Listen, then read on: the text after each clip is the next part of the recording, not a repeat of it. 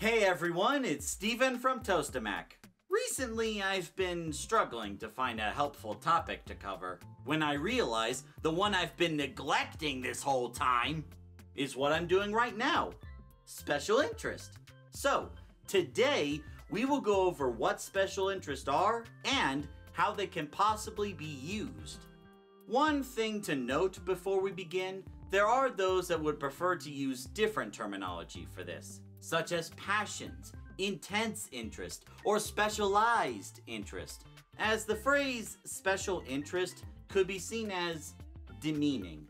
A narrative that can cause non autistic people to think negatively about these interests, when in truth, they can be very helpful. You can use whichever terminology you want, of course, just understand how they can be read. Okay? Okay. Initially, some people may think that specialized interest could be the same as a hobby. That's not entirely true. A hobby is referred to something that is generally fun to do for people, something to pass the time. But if you're passionate about something, if this is your specialized interest, it's gonna be a bit more involved, as you don't want to just engage in the activity, you want to give it 110%. Typically, this involves a desire to know everything about the subject, down to the most minute of details, as well as a fixation on this interest, dedicating so much time to this interest that you may often forget to eat or sleep. Ugh, I can't even begin to tell you how many times that's happened to me.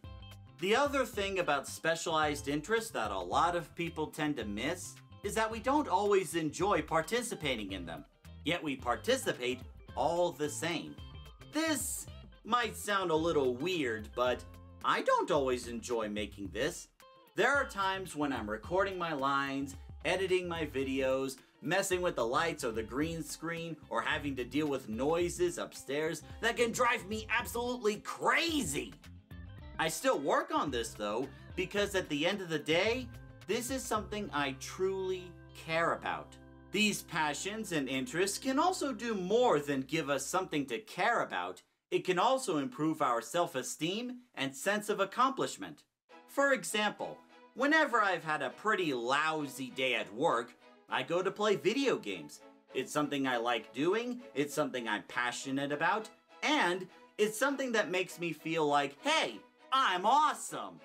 With my younger brother Thomas, he loves video games too, but he also enjoys music and playing around with different computer softwares. Thomas enjoys looking at the individual components that come together to make a piece of music. And with computer softwares, he runs Twitch live streams and delves into a bit of game design. No one ever said you have to have just one interest.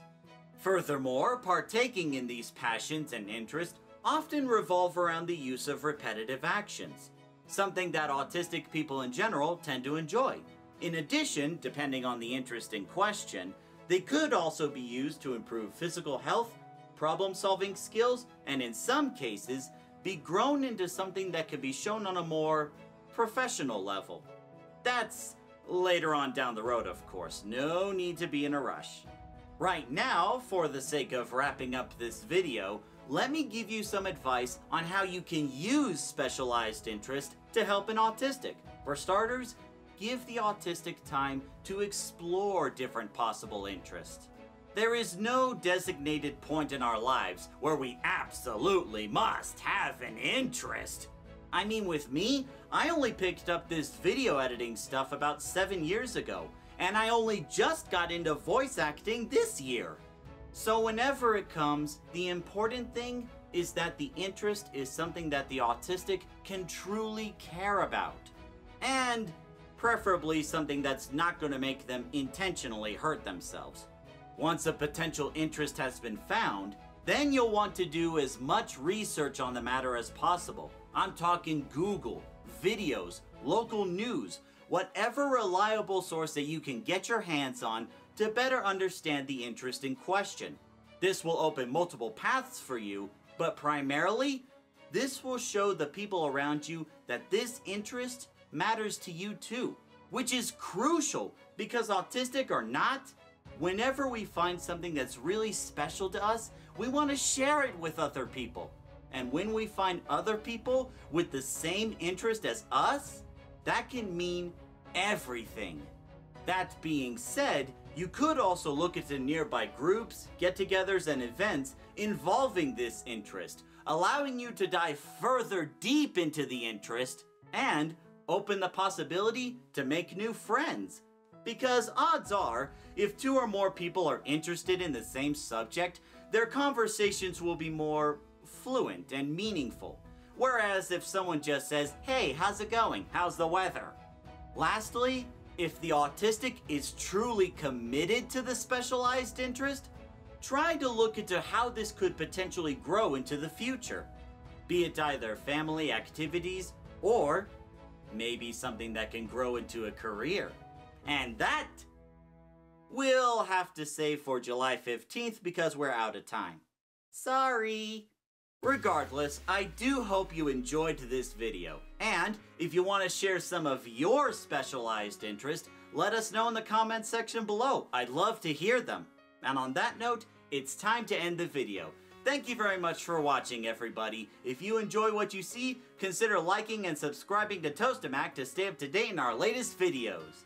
Also, mark your calendars. On June 30th at noon Mountain Time, we will be live right here on YouTube where I will be giving a mid-year review to show you what else I've been working on in 2023.